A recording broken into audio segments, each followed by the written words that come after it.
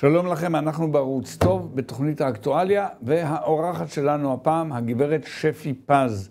פילת הדרום, דרום תל אביב, אולי המפורסמת והידועה ביותר. שלום לך, שפי פז. שלום לערוץ הטוב.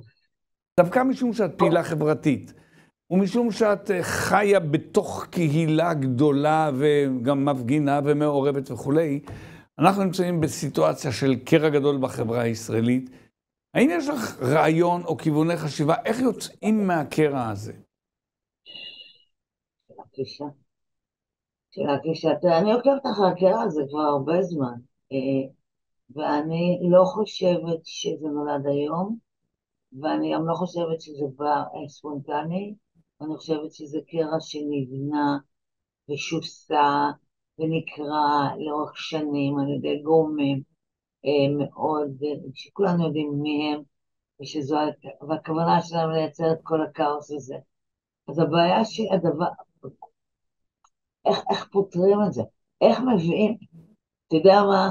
אני יכולה להגיד, אבל זה יישמע מצחיק בשיח, בשיח אישי, באמת בשיח אישי, באחד על אחד. אחד הדברים שאני למשל מגלה, הרי, הרי אני אחד האנשים השנואים בשמאל. אני לא אגיד אחרי, יש כמה יותר שנואים ממני, אנשים די יוצאים בשוק מפגישות איתי ואישיות. מחשבים הם מדברים, הם פתאום רואים אולם בן אדם ולא מפלצת. אמ, אולי שיחות, אולי מגע אישי, כי יש פה בעיה אחת בסיסית, שבמשך כל השנים האלה, השמאל ייצר לעצמו דימוי אה, מפלצתי של הימין. כלומר, כי מה קורה היום בעצם? הרי זה לא הרפורמה עצמה, זה לא החוקים עצמם, זה המחשבה מה יקרה אם תעבור הרפורמה.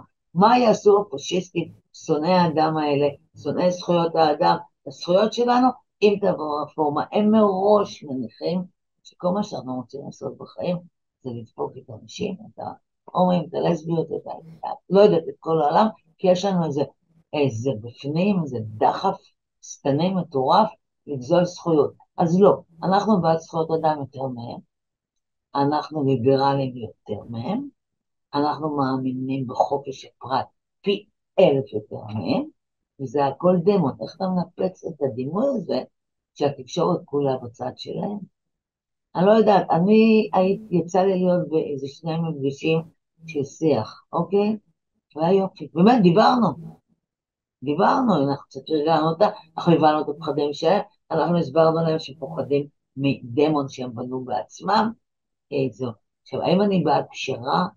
אה, בעיקרון, כן, בתנאי שהיא תעשה את העבודה שהיא צריכה לעשות, כי אה, זה מה שאנחנו דרשנו, בשביל זה הלכנו לבחירות, ובתנאי שזה ייגמר בזה, כי אני חושבת שלא משנה כמה נפגש, ולא משנה כמה נרד על ברכיים, וגם אם אני אכנע לגמרי, מחר יהיה, תהיה עילה אחרת. טוב. תודה. אוקיי. בעיה, אז אל תשאל אותי. אני פה במלחמה, אני פה במלחמה נגד אנשים בשכונה שלי, שמאלנים, שהגיעו לשכונה, חלקם בסבלט, חלקם בשכירות לשנה, חלקם בשכירות לקצת יותר, וקוראים לעצמם, ויוצאים למחאות של ה... נגד הרפורמה, בשם דרום תל אביב. קוראים לעצמם מחאת דרום תל אביב. זה אותם אנשים.